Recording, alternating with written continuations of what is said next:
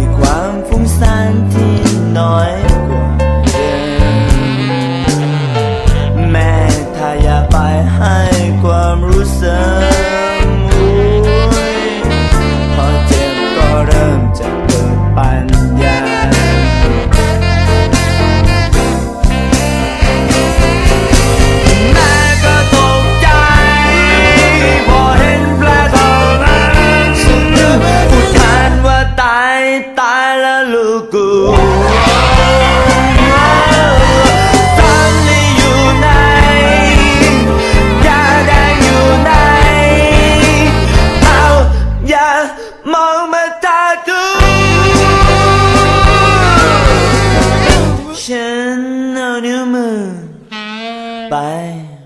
กดเบอร์สองแล้วก็นั่งมองพัดลมหมุนไป